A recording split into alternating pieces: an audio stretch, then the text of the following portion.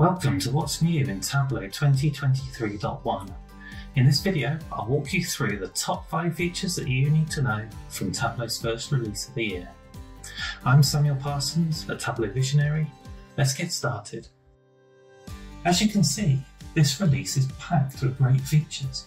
For the full list, you can visit tableau.com, but for now, we'll focus on accelerated data mapping, Tableau for Slack enhancements, dynamic axis titles, identity pools, and user attribute functions. For me personally, I'm really looking forward to the accelerated data mapping feature. This feature really does have the power to make accelerator reports accessible for everyone. With my experience in creating accelerator reports for my company history, anything that really helps to reduce the level for entry to those using the reports is a big win. To begin, we have Accelerated Data Mapping. Accelerated Data Mapping helps you seamlessly integrate your data into Tableau Accelerator's ready-to-use dashboards. With data mapping, you can jumpstart your analytics even faster by reducing the time and effort required to set up an accelerator's ready-to-use dashboard. Now when you configure an accelerator, you can easily map fields from your data to the fields the accelerator requires. The data mapping dialog box is open by default for accelerators and can always be accessed through the Data tab. With a simple drop-down menu, you are able to align your fields as desired to get started using expert-built dashboards in minutes. Tableau's versatility is one of the reasons why customers love it. This however requires authors to make sure business and dashboards are crystal clear to their users. Dynamic axis titles will make Tableau much more flexible and help authors improve the clarity of their visualizations. With the 2023.1 release, axis titles can now be based on a single value field or parameter. You can configure dynamic axis titles in the Edit Axis dialog. Just pick the parameter or single value field you want to show on the axis. It is as simple as that. Authors can also let the user pick what measure to show. And with dynamic axis titles, users will know exactly what they are looking at. This flexibility is especially important for more complex dashboards.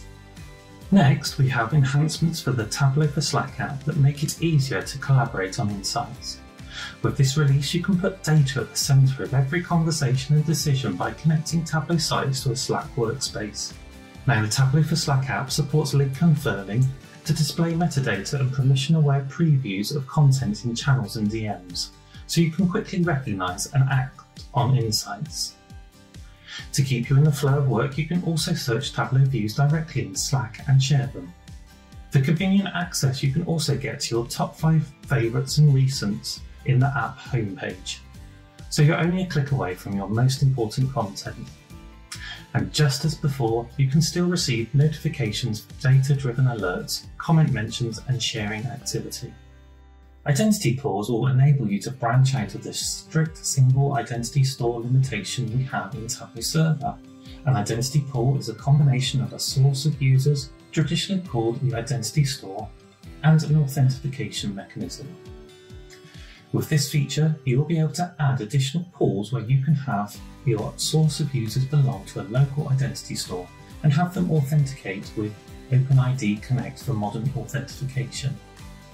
This added flexibility will be particularly helpful for organisations that have a set of external users that need access to Tableau, but they are not able to invite to their corporate Active Directory. We are continuing to invest our attribute-based access controls with user attribute functions for embedded scenarios. User attribute function adds two new user functions, user attribute and user attribute matches, which allows you to pass attributes at runtime helping you enhance row-level security.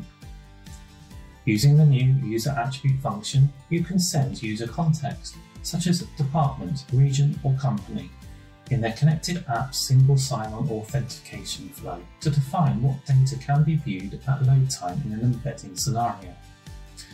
Tableau will automatically pass the user context and only show data pertaining to a user's permissions, helping you control data access and enforce data security policies by ensuring that users only see the information they are authorized to see, while still providing them with a highly personalized experience.